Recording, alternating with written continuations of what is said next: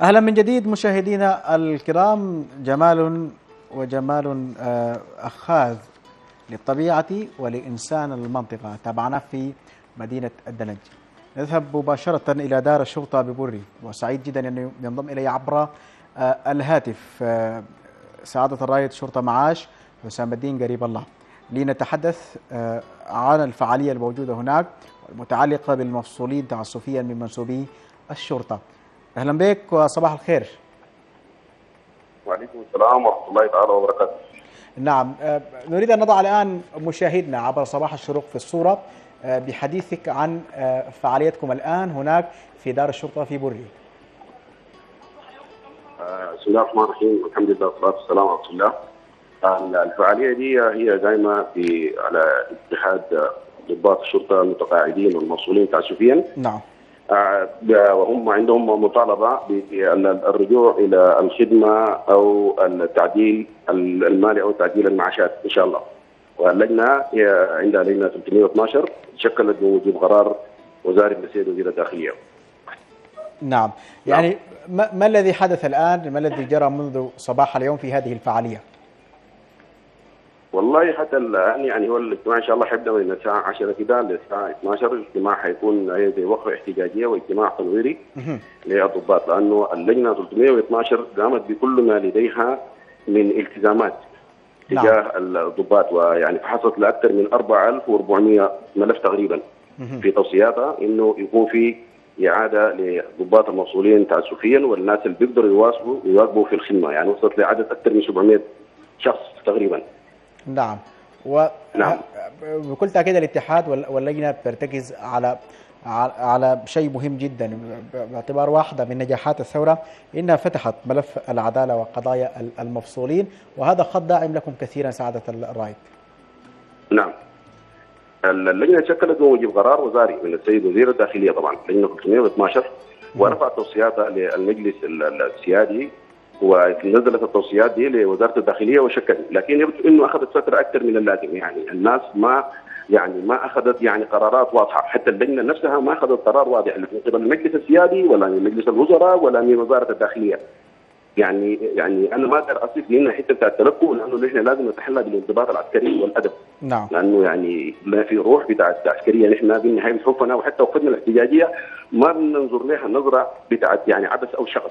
هي النظرة للناس اللي اخذ الحقوق وهي هي ثوره قامت من دماء شهداء اصليين لازم يرجعوا لهم حقوقهم ويعني في مفقودين وفي أسر بتاعت شهداء.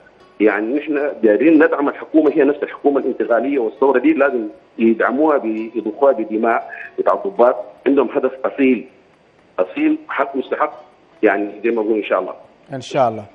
نتعرف نعم. أيضا على معظم الأعمال وآخر الاعمال اللي قامت بها اللجنه 312 فيما يتعلق بقضاياكم ومطالبكم العادلة. القضايا والمطالب اللي بتتعلق بها أنا عشان أقدر أدي فرص معي برضه لأخ معي أختنا يعني من جانب النساء عشان تشارك معنا في المشاركة. أديك الاخت ولهن الحق في ذلك. العقيد- صالحه عبد الماجد. آه لو تكرمت سعادتك تدي العقيد.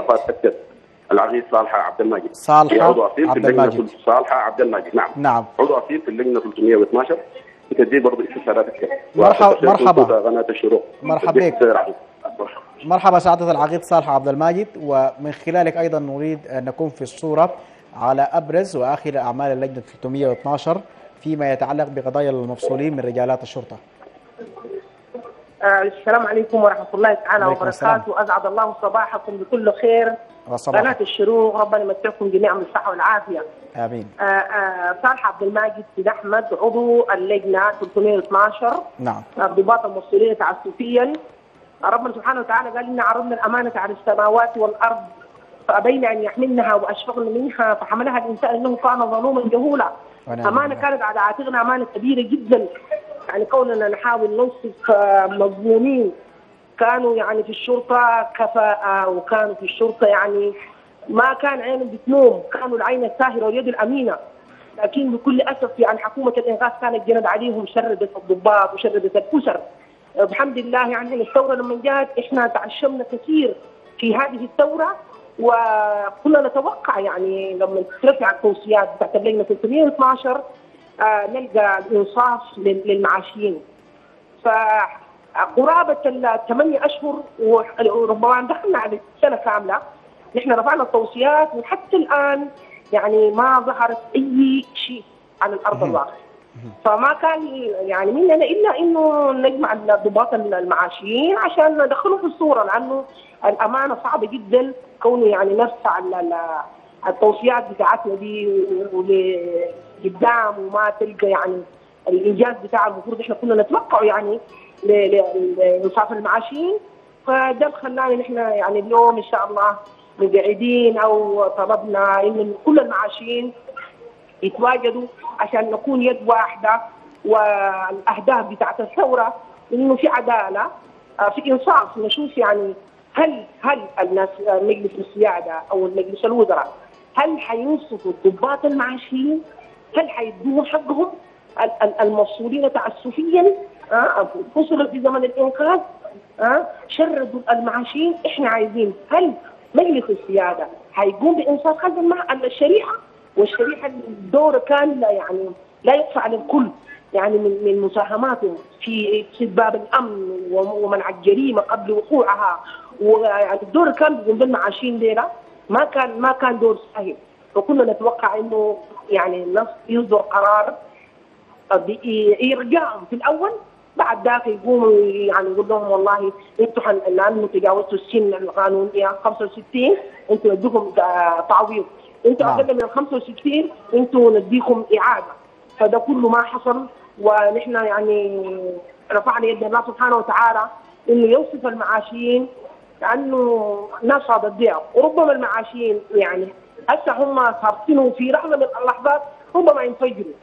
إذا حصل انفجار من ضباط هو أصلا حد الآن هم منضبطين لأنه الانضباط ماشي في دمهم. لكن ربما إذا الواحد صاب ده شيء طبيعي. لما يتفضل يحصل انفلات. بيحصل انفلات امني مع إنه هم كان هم كان عندهم دور لما هم في ثورة الانقاذ كان عندهم دور في استجابة الأمن. لكن بكل أسف حكومة الانقاذ يعني شردتهم وكنا نتوقع الثورة تدوم حقهم برضه الثورة ما أدتهم حقهم.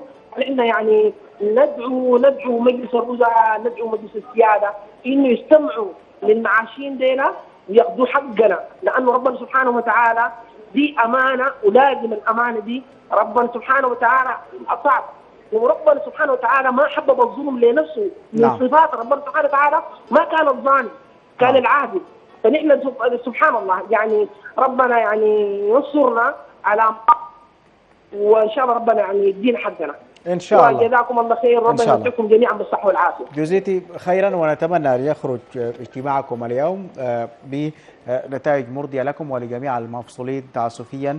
ونسأل الله لكم آه، العدل والإنصاف في هذه القضية وفي هذه المطالب المشروعة خصوصا بعد أن أضحى السودان آه، بعد الثورة بلدا فيه حرية.